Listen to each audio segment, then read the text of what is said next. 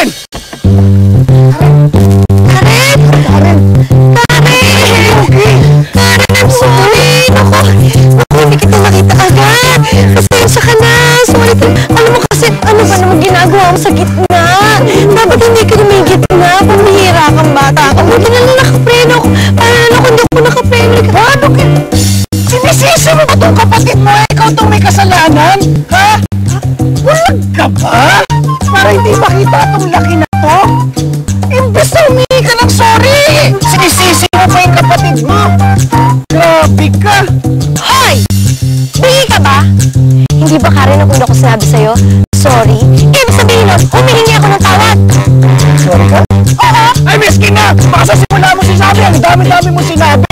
Yung mga reckless drivers sa mga katulad mo, hindi dapat nagmamaneho sa kalsada. The are not safe with people like you. Excuse me! Minsan hindi pa ako nakikita. Ibig sabihin nun, maingat ako magmanaw. Maingat ba yun? Mag-ingat ako kapatid. Wala! Tama na, ano ba?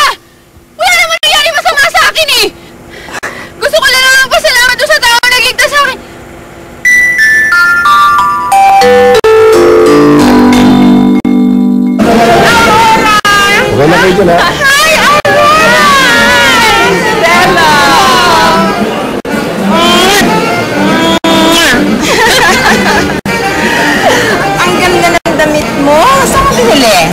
Ah, Paris? New York? I don't remember. Um, ma'am, sa UK po. Oh, that's right! UK! Ay, how social! In fairness, parang okay-okay lang. Excuse me? Eh, sabi mo, okay na okay ang gown mo.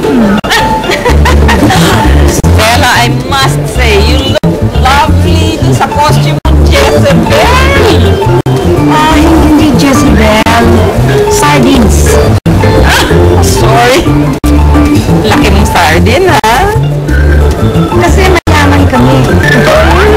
Saan ka na? Saan si Carlos? Kanina ko pa siya nakikita. He's just arrived with Karen. Alam mo naman how dedicated my son is to your daughter. Madam! Madam!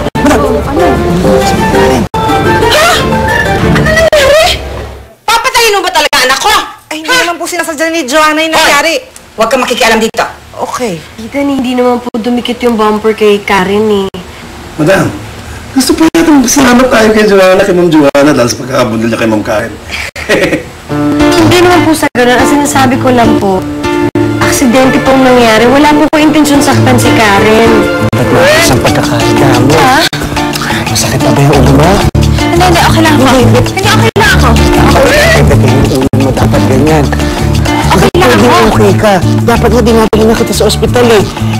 Paano na kung may akong internal hemorrhage? Internal hemorrhage, okay lang ako. Okay ka. Just relax. Relax. Huwag kang nagpapanik. Okay. Okay. Breathing exercise tayo, ha? Okay, okay. Breathe in. Okay. Ah, breathe out. Breathe out. Oh my God, Karen. Okay, okay lang ako. Akala ko kanina tatamaan ka na ng kotse. Pinpunta mo na akala ko. Akala ko mawawala ka na sa buhay ko. Oh my God, akala ko kukunin ka na sa akin ni Lord. Paano mo lang ang buhay ko ngayon? Parang masakit yung ulo ko. Ha? Parang hindi ako makaya. Carlos?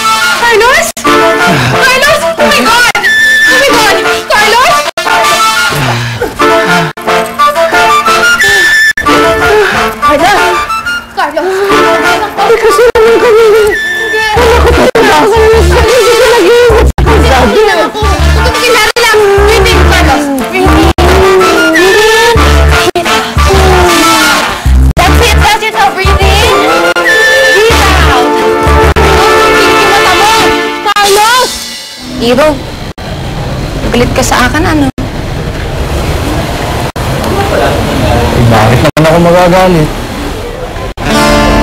Galit ka nga. Eh, sana intindihin mo na lang ako. Eh, ayoko lang naman na may nasasabi yung mga kasama ko sa akin eh. At alam mo naman na, matagal ko nang pinangarap maging sex bomb dancer.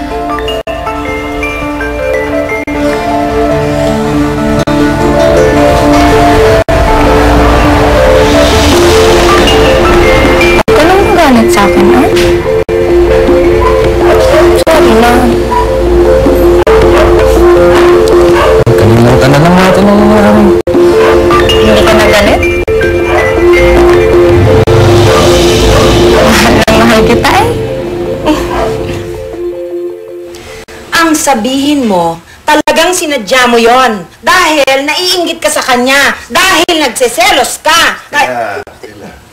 Huwag mong pagalitan si Joanna. Bakit hindi? Munti ka na nang patayin si Karen. Pinagsisisihan ni Joanna ay nagawa niyang pagkakamali.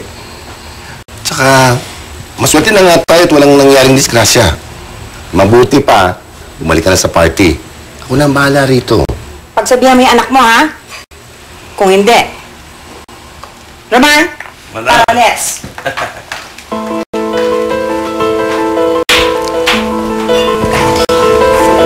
Popsi, sorry po ah. Hindi ko naman po kasi sinasadya eh. Joanna, hindi mo na kailangan magpaliwanag. Pasensya mo na, Tita Stella mo. Medyo labis lang ang pag-alala niya kay Karen kasi. Tsaka, sigurado kong pagod na pagod ka. Kaya sa kwarto at pahinga ka. Aray ko yan, panay ko yan. Sorry.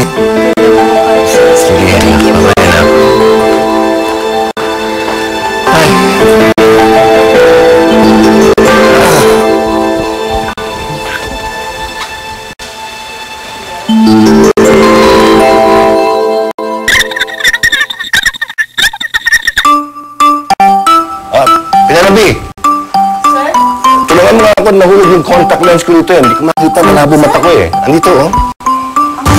Ah, dito yung nahulog eh. oh. Hindi, bak- baka nandun sa likod. Nandun sa likod.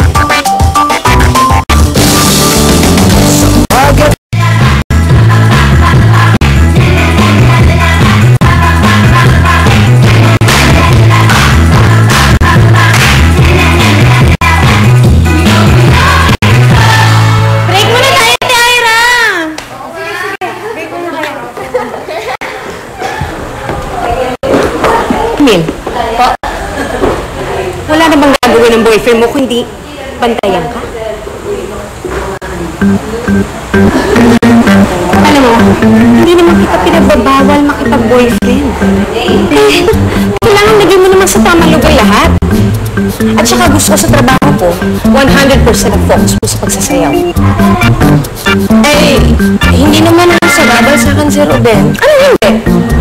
Nakarating na nga sa akin eh. Nasinundan ka pa niya sa party ng isang gabi. Gusto mo talaga sumikat, isang tabi mo yung pag-ibig mo. Dapat lahat ng atensyon mo, dyan sa career mo. Camille, mag-isip-isip ka. Ano ba talagang gusto? Puso o pangarap?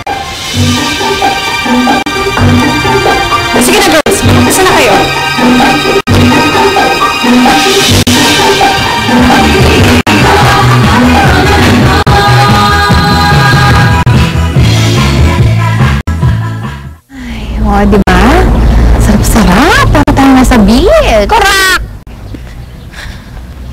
Karen, Hmm. kamusta na pakaramdam mo? Oks lang. Ay, salamat. Buti naman walang nangyaring masama sa'yo. I'm really sorry ah. Ako siguro kung nasaktan ka, baka hindi ko na napatawad ang sarili ko. Ano ka ba? Tama na yan. Tagal ni. Okay naman ako. Pero alam mo yun kasi sana sa susunod, mag-iingat ka naman sa pagmamaneho mo. Eh paano kung hindi ako yung taong yun? O edi meron ka ng kaso ngayon. Ate, try mo kasi ulit mag-driving lesson. Nang sa ganun, maging mas mahusay kang driver. Hmm, tama ka. Mm-mm. Dapat nga mag-aral pa akong magmaneho. Tama. Kasi ang dami-daming nagkalat na tanga. Alam mo yun yung alam namang daanan ng sasakyan yung, yung lugar na yon, pupunta sa gitna, mag-aayos ng sapatos, pwede naman tumabi. Eh dahil tanga nga sila, hindi nila naisip yun. Naman. Walang basehan ang pag-aalala mo. Si Joanna hindi galit kay Karen. Magkapatid sila. Ma- nag- Magmamalasakit sila sa isa't isa. Ako ba pinariringgan mo?